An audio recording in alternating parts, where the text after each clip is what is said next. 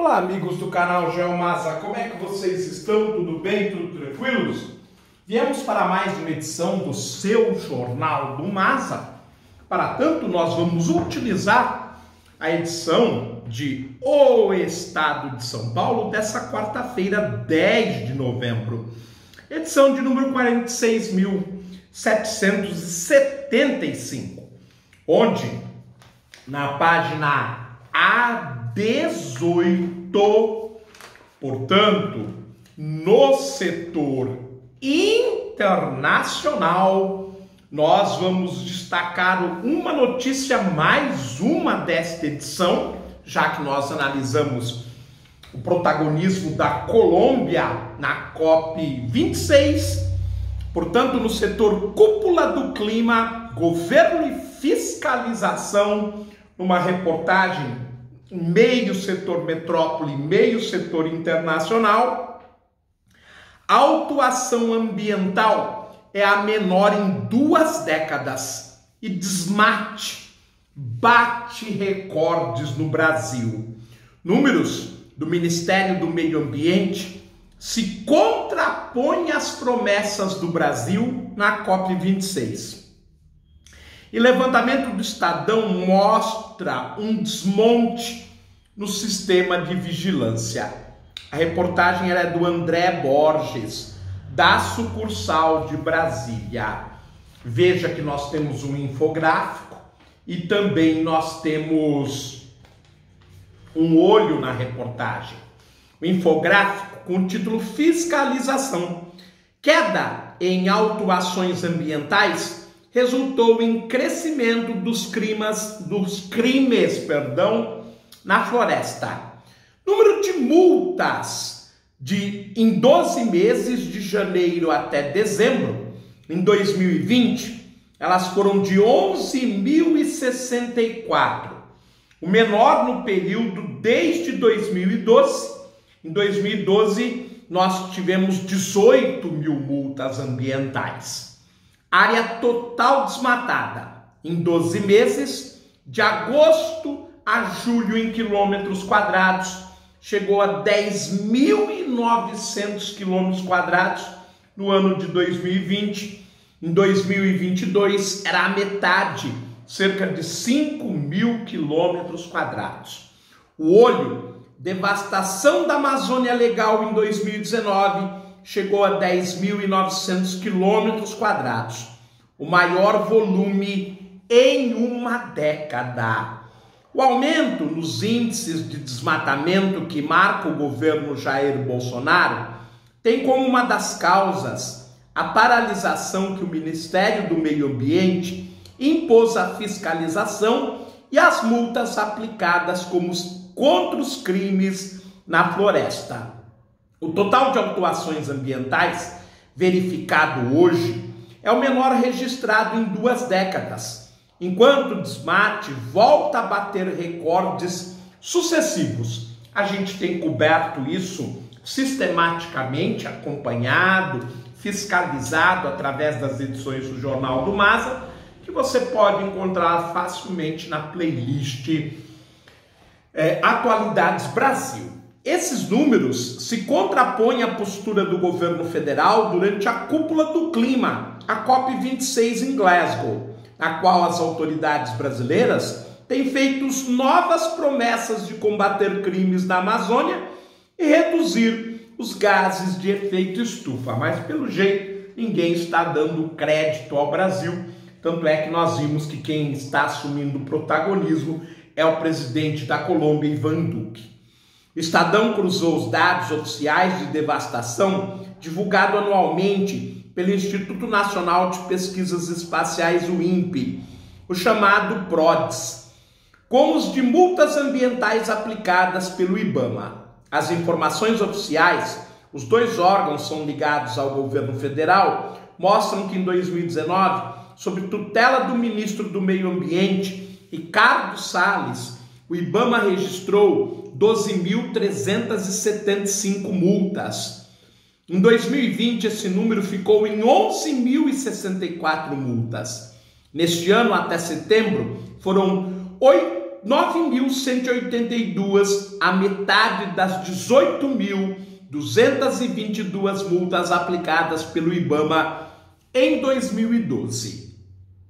Nos anos de 2000 até 2010, o órgão ambiental emitia entre 20 e 25 mil autos por ano, em média.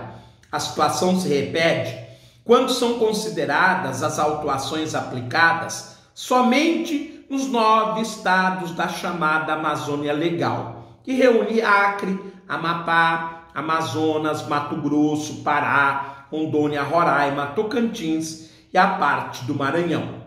Uma década atrás, o IBAMA relatava uma média anual de 5 mil multas ambientais por crimes de desmatamento na Amazônia Legal. Em 2020, esse número caiu para 2.334 autos de infração. Esse ano, até setembro, foram 1.935 multas.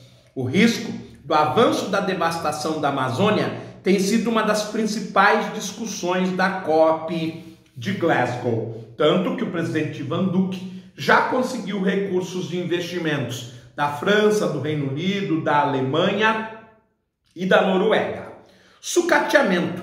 A redução das fiscalizações passa pelo progressivo processo de sucateamento dos órgãos de controle, esvaziamento da força de trabalho e fragilização da lei ambiental. O governo federal fechou unidades do IBAMA, não renovou o quadro de fiscais e agiu para mudar as regras de autuação e perdão de multas.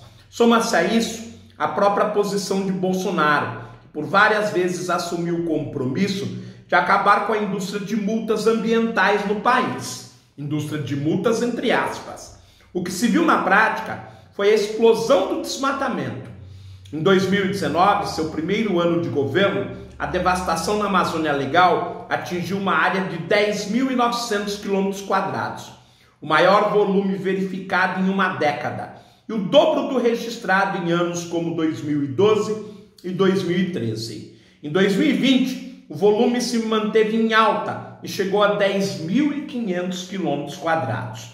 Os dados do INPE indicam 796 quilômetros quadrados de devastação em outubro até o dia 29. É a segunda maior área de alertas de desmatamento para o mês de outubro da série histórica do INPE iniciado em 2016 e só 4,7 vezes menor que o recorde de 2020. O Estadão questionou o Ministério do Meio Ambiente, o IBAMA, sobre essas informações. Em nota, o IBAMA declarou que até outubro de 2021, as ações de fiscalização e combate ao desmatamento aumentaram cerca de 50% em relação a todo o ano de 2020. Segundo o órgão, essa mobilização afetou diretamente na redução das infrações ambientais. Pode até ser. No entanto, o desmatamento aumentou, o que acaba por desmentir esta afirmação. Os números nos mostram que o aumento do desmatamento é resultado direto de medidas tomadas pelo governo que sucateou os órgãos de fiscalização e reduziu as infrações. Quando se trata de destruir a floresta, nenhuma motosserra supera a caneta do presidente, afirmou Márcio Astrini, secretário executivo do Observatório do Clima. Balcão da impunidade. A porta-voz de políticas públicas do Greenpeace, Thais Banwart, ressalta que além de emitir o menor número de multas já aplicadas, o governo Bolsonaro criou os núcleos de conciliação ambiental sobre autuações já dadas. Na prática, esses núcleos se tornaram um verdadeiro balcão de impunidade, pois travaram o procedimento de cobrança das multas alerta. Para piorar, uma série de projetos de lei visa legalizar tais práticas. Assim, além da certeza da impunidade, os criminosos contam com a possibilidade de ser beneficiados pela mudança nas leis. Consultor jurídico do Instituto Socioambiental ISA, Maurício Guetta, lembrou que Bolsonaro já havia adotado esse discurso na campanha. Desde o primeiro dia de 2019, o governo Bolsonaro paralisou a política de combate ao desmatamento na, da Amazônia. O plano de ação para a prevenção do controle do desmatamento na Amazônia Legal e adotou medidas para inviabilizar a atuação do IBAMA e do Instituto Chico Mendes de Biodiversidade, o ICMBio.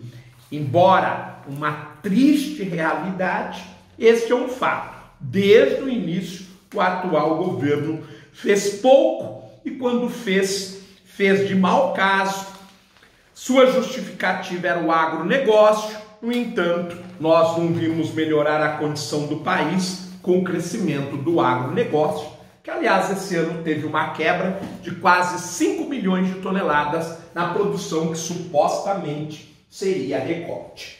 Bem, pessoal, nós estamos ficando por aqui. Um grande abraço, eu espero vê-los oportunamente em uma nova edição do seu Jornal do Maza. Tchau, pessoal, até a próxima.